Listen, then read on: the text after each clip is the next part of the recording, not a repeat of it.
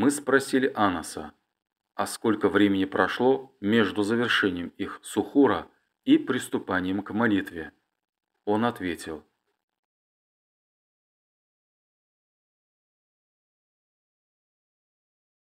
Хадис под номером 571. Ибн Джурейдж сказал, «Однажды я спросил у Ата ибн Абу Рабаха, и он сказал, «Я слышал, как Ибн Аббас, да будет доволен Аллах ими обоими, говорил, Однажды ночью посланник Аллаха, да благословит его Аллах и приветствует, откладывал вечернюю молитву до тех пор, пока люди не заснули, и затем проснулись. Затем они опять заснули и снова проснулись, после чего Умар ибн Аль-Хаттаб встал и сказал «Молитва». Ата сказал, Ибн Аббас сказал, у меня перед глазами и сейчас стоит вышедший к людям пророк, да благословит его Аллах и приветствует. С его головы, на которой он положил руку, капала вода. И он сказал, «Если бы не было это слишком тяжело для членов моей общины, я обязательно повелел бы им совершать эту молитву именно так, то есть именно в это время». Глава Время совершения вечерней молитвы может продолжаться до середины ночи.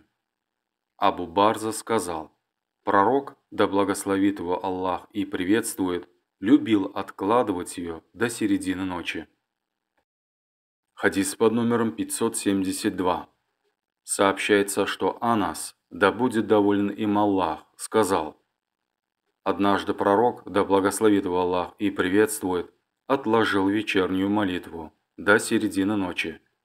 Затем он помолился и сказал, «Люди уже совершили молитву и заснули, а вы присутствуете на молитве, и тогда, когда ожидаете ее начала». Тут имеется в виду, что за ожидание молитвы человек тоже получит награду.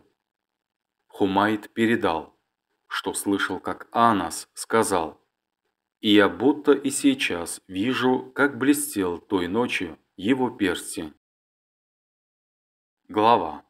Достоинство утренней молитвы. Хадис под номером 573.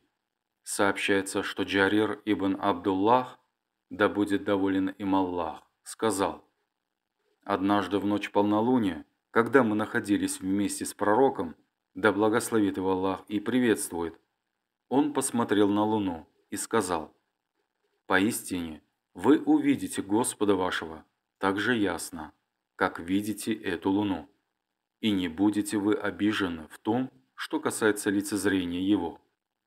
И если сможете вы добиться того, чтобы ничто не мешало вам совершать молитвы перед восходом солнца и перед закатом его, то совершайте их».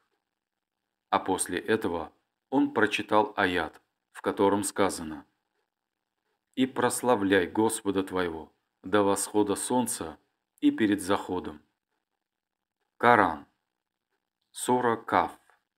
Аят 39. Хадис под номером 574. Передается слов Абу Мусы «Да будет доволен им Аллах» о том, что посланник Аллаха, да благословит его Аллах и приветствует, сказал Вошел в рай тот, кто совершал две молитвы в прохладное время. В данном случае речь идет об утренней и послеполуденной молитвах. В первые годы существования ислама мусульманам предписывалось совершать только две обязательные молитвы. Глава. Время утренней молитвы. Хадис под номером 575. Анас, да будет доволен им Аллах, передал, что Зайд ибн Саабит, да будет доволен им Аллах, рассказывал ему о том, что однажды они вместе с пророком, да благословит его Аллах и приветствует, поели перед рассветом во время Рамадана, а потом встали на молитву. А она сказал, я спросил, и сколько времени прошло между одним и другим, то есть между завершением еды и началом молитвы. Он ответил, «За это время можно было прочитать 50 или 60 аятов.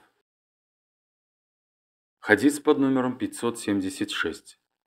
Передается слов Анаса ибн Малика о том, что однажды пророк, да благословит его Аллах и приветствует, и Зайд ибн Саабит поели перед рассветом во время Рамадана, сухур. И когда они завершили сухур, пророк, да благословит его Аллах и приветствует, встал на молитву и помолился. Передатчик этого хадиса сказал, «Мы спросили Анаса, а сколько времени прошло между завершением их сухура и приступанием к молитве?» Он ответил, «Время, за которое человек может прочитать 50 аятов». Хадис под номером 577. Передаются слов Абу Хазима о том, что он слышал, как Сахаль ибн Саад, да будет доволен им Аллах, говорил, «Обычно до того, как начать соблюдать пост, я ел перед рассветом в кругу семьи, а потом мне приходилось спешить, чтобы успеть совершить утреннюю молитву с посланником Аллаха, да благословит его Аллах и приветствует». Хадис под номером 578. Сообщается, что Ибн Шихаб сказал, «Мне сообщил Урва о том, что Айша рассказывала ему. Жены верующих присутствовали с посланником Аллаха, да благословит и приветствует его Аллах на утренней молитве, покрытые плащами.